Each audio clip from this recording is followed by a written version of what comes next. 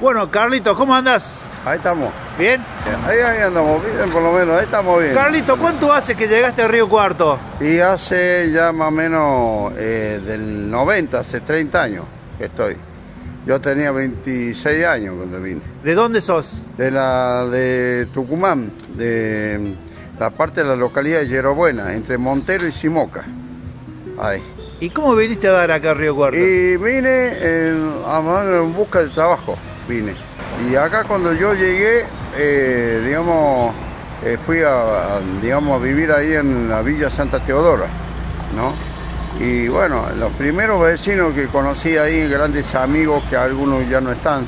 El asentamiento este, para el que no conoce, estaba bien pegado a la, la costa del río. eh, Bien pegado a la costa del río, sí. Digamos, este, muy, muy pegado ahí.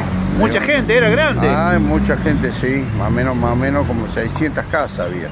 Había ahí. y- 600 casas. Sí, 600 casas había ahí en total ahí. Digamos, todos, digamos, casitas bajas, Sí, digamos, sí, una cosa, ¿no? Y bueno, y ahí este, conocí los primeros este, amigos míos y ahí comencé a vivir, ahí hice mi piecita, a vivir ahí. Y después al tiempo, este, comencé, digamos, a salir con un carrito a mano, juntando cartones, botellas, todas esas cosas, y después eh, me hice de un carro caballo, ¿no? Y ahí, bueno, con el carro comencé a, a juntar y cosas y, bueno, sacaba, eh, digamos, frutas, las verdulerías, eh, en las panaderías sacaba facturas que quedaban de un día para otro, eh, sacaba la basura y a los dueños de la panadería me daban para, para repartir a los chicos Claro. de la villa. Y ahí... Ah, a vos juntabas y, Sí. y le dabas a los a chicos. los chicos de la villa, sí, sí, sí, sí. Después eh, le daba de, de comer a los chicos, con- sacaba carne y entonces se les daba ahí a los chicos de la villa, ahí a su mamá, para que puedan darle de comer a esas criaturas, ¿no? Entonces ahí comencé mi lucha, digamos, a trabajar por el centro de la ciudad de Ricuarto, esa cosa, y papá me abandonó cuando yo tenía cinco años, en plena, digamos, pobreza, miseria, entre medio del cañaveral, ¿no? Eh, mi casita era de, era de mi abuela, ¿no? Ajá. De techo de paja, de dos, de dos aguas así, paredes de adobe, piso de tierra, ¿no? Y más o menos eh, distante de una, una callecita de repiada eh, polvorienta, como 200 metros para adentro, ¿no? Este, entonces, el patio, un pozo de, aljibe, Sí. al fondo un, un hornito de, de barro, ¿no? Carlito, ¿y fuiste a tu casa, a Tucumán? ¿Volviste alguna vez? Eh, sí, hace muchos años. Hace muchos años fui a una Navidad Ajá. a visitar a mi mamá y que mi madre ahora murió hace ya seis años. Ajá. Murió. Un año que tenía Emma, murió ella ahí. Y, y entonces ella, eh, digamos, fue una, una mujer, no conocí una mujer tan valerosa y luchadora. ¿no? Eh, ella se levantaba de la una de la mañana hasta las 8 de la noche para pelar caña, digamos, y a poder alimentar, aunque le pagaban por moneda, ¿no? Un trabajo pesado, sucio y desagradable para una mujer, porque era un trabajo para el, para el hombre, ¿no? ¿Cuántos hermanos eran, Carlito? Eh, seis. Seis hermanos. Seis, seis, seis. Seis hermanos. Una cosa. Y ella nos enseñó a ser una persona honesta, eh, honrada, digamos, cosa, eh, digamos, nos enseñó en la, en la vida, ¿no? Entonces, este, hola doctor, ¿cómo anda doctor? Eh, un gran amigo, un doctor que vive allá en el edificio. Ajá. Y entonces, este, agarró, bueno, y te sabe que eh, yo iba, quería, digamos, quería aprender a leer y escribir, ¿no? Y yo caminaba 17 kilómetros para ir, pasaba, entre- cruzaba entre medio cañaveral para ir a una escuelita.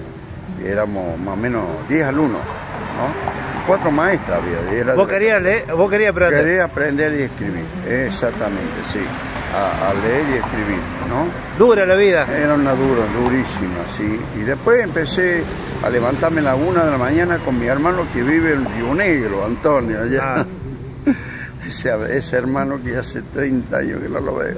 Un gran, un gran amigo de las cosas. Ahora tiene 61 años. de. Sí, Carlito, ¿y tu vida acá en Río Cuarto cómo ha sido? ¿Linda? Eh, ¿Dura? Eh, fue linda y dura. Y bueno, más, más, más linda porque esta ciudad, es la que tanto quiero, amo a Córdoba, amo a Ricuarto por, digamos, por mis amigos, que tengo muchas gentes amigas, ¿no? Claro. Y, esta linda ciudad es la que me, me abrió los brazos, que me cobijó, digamos, eh, digamos, este, adoptivo, como se dice, ¿no? Y yo siempre a mi hija más grande de 15 le digo que yo soy este que yo soy cordobés, que soy ricuartense, ¿no? Y mi hija me dice, no, papá, vos sos tucumano. Claro. y le digo, bueno, pero, pero con Ricuarto es el que me, me adoptó, le digo. Claro, claro. Carlito, ¿y tu hija estudian ahora? Sí, estudian, sí, sí. Eh, mi hija va acá en la normal, Ajá. tercer año.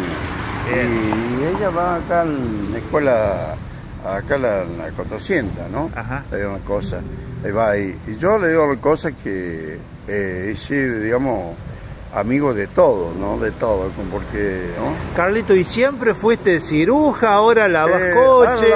sí, hago coche, coche hace bastante tiempo de que nos trasladaron para allá, a la, 400. Eh, me deshice de los animales, me quedé sin carros, sin caballos, esas cosas, porque decía que no me iban a permitir tener carro caballo, esas cosas. Y, bueno, este, y bueno, a través de los años eh, conocí, eh, digamos, comencé a cuidar eh, muchos años la pipa por la Ariel. Claro. Al mediodía. Y ahí conocí a, muchas personas, muchos amigos del doctor de la Sota, eh, lavaba su camioneta. el doctor Charetti, cuando era diputado, cuando él venía siempre venía a... A muchos políticos. A muchos políticos, de todos. ¿Y qué te decían los políticos? Dale, bueno, no puedo. ¿Te prometían? Sí. Cuidé, me acuerdo que un día me llama el encargado de la, del ópera, ahora siento en un hotel histórico del cuarto, ¿no? Este, me llama para decir que le cuide la, su limusina a Charlie García, ¿no? Que la había dejado en la calle porque no entraba en, en, la cochera. En la cochera porque era grande, ¿no? su limusina. La limusina a Charlie, García. Charlie García, sí. Le, se le cuidé dos, este, digamos, eh, dos veces que vino Ricuarto, Charlie. Un gran amigo, una gran, una gran persona, ¿no? Siempre le dije que, que digamos, que se cuidara, este, digamos, él entonces, y que era un gran compositor de la música de rock. ¿Y qué te decía él? Y me decía él, me decía Charlie, mirá, dice Carlito, dice así, eh, dice, te, te, gusta, dice, mi, mi música? Le digo así, ¿no? Y le, digo que sí, que aunque yo no era rockero, claro, porque yo era me gustaba la, escuchar la mona. una historia mejor que otra, muchas a John Gieco, mi otro gran amigo mío. Muchos amigos tenés. Muchos amigos. John Gieco eh, también eh, vino, este, las veces que vino a Ricuarto, este, nos estuvimos, charlando con él y yo le decía que, este, que su, la canción que más me gustaba era El Ángel de la Bicicleta. Sí, ocho. ¿Te emociona? Sí, sí, sí. Porque recuerdo mucho de, digamos que, digamos... ¿Te recuerda mucho la...? De los, sí, de la vida. De la vida. De las cosas, que cuando le daba de comer los chicos, cuando venía con mi carro, y ellos venían, me decían, decía que este, Carlito, no tenemos para comer, mamá no tiene. Entonces yo les daba una bolsa, les preparaba, digamos, cosas y se daba. Y algunos chicos ya no están en el mundo murieron por la droga. Y cosa, ¿no? Y no era porque eran malos, sino por eran buenos chicos. Los vi crecer y lo vi, algunos de ellos, este, digamos, morir. Y entonces los quería como si fueran mis hijos adoptivos, digo así. Mira, yo amaba a esos chicos, le digo así, ¿no? Entonces, este, entonces él sabía, hoy, ya no está, digo yo, digo así. Le digo, ¿cuántas veces se subían dos pibes de ellos, se subían mi carro y me ayudaban, digo, a recorrer por el centro de la ciudad? Eh, le digo, lleva, digo así, cosecito, Y le digo, siempre me decían, Carlito, alguna vez dice, nos van a dar una casa digna. Así. Nos van a dar una casa digna, no Se sufría mucho en la villa. sí, sí, sí, sí, Frío, el invierno. frío, el invierno. Cuando por ahí, cuando crecía el río, llegaba el agua hasta, hasta dentro de la, del rancho, ¿no? ¿no? Y yo le decía, sí, Seba, algún día nos van a dar una casa digna, con baño y tarado y todo, digo así. Digo así. y, no, y, con el paso de los años se dio. por el paso de los años se, se vio, sí, sí, sí. también otra gran amiga que ya no está, eh, digamos, Rita Ariaga. Ah, Rita se murió de cáncer. Una luchadora. Sí, una luchadora, una gran amiga, una gran compañera y amiga, digo una cosa. Rita, este, a través, eh, ella este, militaba, en, digamos, en el asunto de desocupado, ¿no? Digo una cosa. Y entonces un día... Este, Le contamos a la gente que Rita Aliaga, una dirigente social, que hizo un barrio para todas las madres solteras. Para todas, las, madres, le luchó para que cada para que tuvieran para que tenga una casa digna de esas de esas mamás digamos. Sí sí. Rita yo la vi hasta el último que ella ya estaba mal de cáncer no y entonces ella un día me, me dice mira Carlito dice tengo una gana de bajar los brazos no Rita seguí adelante seguí adelante que le digo esas personas te necesitan. Sos una gran persona, digo así. Entonces, este, ahí ella seguía adelante, ¿no? Y un día eh, me llama a través de un grupo que tenía ella, eh, de su gente, eh, a, presentarme en el teatro municipal. Sí. teatro municipal. Lo conocía por fuera el teatro. No había entrado nunca al teatro. Nunca dentro del teatro, nunca había entrado lo de Entonces. Ah, y te llamó que fueras al teatro. que fuera al teatro, ¿no? ¿Y qué pasó? Cuando yo fui al teatro, este, dentro así, y me encontré con mucha gente, estaba lleno el teatro, ¿no? Recuerdo, este, con mucha gente, le digo una cosa. Entonces el locutor de ahí, este, del escenario, me llama este, a, digamos, al escenario a recibir el premio eh, Agustín Tosco. Mira una cosa. Mira. Sí, eh, recibí el premio de Agustín Tosco, la estatuilla. Mira una cosa. ¿No lo podía creer vos? No podía creer. Una cosa que no lo podía creer. Cuando asumo arriba del escenario, me viene Rita y me da eh, la estatuilla. Por ser una persona, dice, luchadora, por ser una persona que dice que estás dando de comer 200 chicos de la Villa Santa Teodora, dice Carlito que no son nada, dice, diciendo que no era, digamos, intendente. Dice, eh, esto dice, eh, la agrupación te da esta... esta, esta este reconocimiento. El reconocimiento, sí, sí, sí. Y ahí donde Jara me sacó, digamos, este, me hizo en entrevista, me sacó una foto digamos, para el diario Puntal. Mira, una cosa, mira cuánta historia, Carlita. Sí, entonces ahí le di una cosa, este, eh, yo le di una cosa, le dije que lo hacía de corazón, una cosa, ¿no? Y que, bueno, este, que yo lo, hacía de corazón y que, este, digamos, para para bienes de los chicos. Y le decía, si ojalá pudieran, lo, haría para todas las otras villas de emergencia que existen en el cuarto una cosa, ¿no?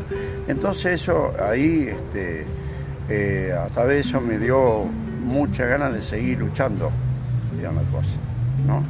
Y bueno, ahí le di una cosa, este, yo le di una cosa, este, eh, ese, ese premio. ¿Lo guardas? Lo guardé y cuando una vez que viajé a Tucumán, visitaba a mi mamá, eh, a mi madre allá, se lo llevé, ¿no? Se lo llevé y entonces ella eh, me decía, mi mamá me decía, dice, hijo, eso hiciste, dice, eso hiciste en el cuarto en la provincia de Córdoba, sí, lo hice, le digo mamá, le digo, lo hice, le dicen, le digo, luchaba en el asunto en la, villa, le digo, para darle comida a muchos chicos, le digo así, y le digo, y esto de ganas mamá, le digo, quiero que te lo... ¿Se lo dejaste a tu madre? Sí, a mi madre, sí, sí, porque ella eh, le digo, mamá, no fue vano tu, esfuerzo, escríame. Y le digo, yo agradezco que me diste la vida. Le digo así, que me diste la vida, mamá, y me diste un buen ejemplo. Le digo así, ¿no? Una buena enseñanza, esas cosas, ¿no? Entonces ahí le digo una cosa, este, y bueno, ahí este, yo le digo, este, dejé eso, después digo una cosa que acá después en el cuarto seguí luchando, ¿no? Este, y después conocí a mi esposa, que era de acá de ¿no? Y bueno, ahí le una cosa, este, eh, me dio dos hermosas hijas, digo una cosa, y bueno, ahí estamos, le digo una cosa que... Luchándola. Luchándola, esas cosas, ¿no? ¿Y cómo te va acá en la calle, con la gente? acá le digo yo, este, acá eh, hago, la gente son las que agradezco, la gente son las que me, que me ayudan, que me dan, digamos, para cuidar su auto, para lavarlo su coche, y es lo que me dan la, que me dan la mano, ¿no? Claro. una cosa. Y bueno, eh, son mis amigos son la, gente son mis amigos, digo una cosa, ¿no? Muchas veces por ahí, en este momento, digamos, eh, por ahí uno necesita cosas, por ejemplo, y por ahí no me animo, ¿visto? Porque no me animo a pedir. más a la, gente, ¿no? Yo, mi hija más grande de 15 necesita una camita, eh, una cama ella que no lo tiene, está durmiendo en un colchón en el piso, ¿no? Es una cosa, ¿no? O sea que no, me animo, digamos, a pedir. a pedir a la gente, sí, sí, demasiado. ¿Y con lo que ganas acá te, te En casa para, para, digamos, comprarle el carne, pan, esas cosas. Con los chicos. A los chicos, sí, sí, sí. La diaria, con lo justo. A la diaria con lo justo, sí, le digo una cosa. Eh, yo le digo una cosa que agradezco muchísimo es eh, a Dios que hasta el día de hoy no me agarró la cosa esta. Eh, digamos, tengo este, tiroides, me, me afectó un ojo, un ojo la, mitad del cuerpo, ¿no? Que me, me tiene el doctor Zavala, hijo, ¿no? Este, entonces uno, eh, digamos, sigue a través de que uno tiene 57 años, ¿no? Pero, le digo, eh, sí, uno, uno sigue luchando, digamos que uno está viviendo lo justo. Bueno, bueno, esta es la historia, gente, de Carlitos, ¿tu apellido? Sí, este, me, le, digo, me llamo Gregorio César Peralta. Gregorio César. claro, me dicen Carlitos por el doctor Chicharra Bella que me puso. Ah, él te decía Carlitos. Sí, él me dijo Carlitos. Y, ahí me, ¿Y te quedó Carlitos? Carlitos con todo el mundo. sí, sí, sí. Mira Carlitos, dale Bueno, amigo. Bueno, esta son todas estas historias que encontramos acá en Río Cuarto, en la calle, gente que uno los ve con unas historias que no se puede creer. Bueno, te agradezco, Carlito. Muy bien,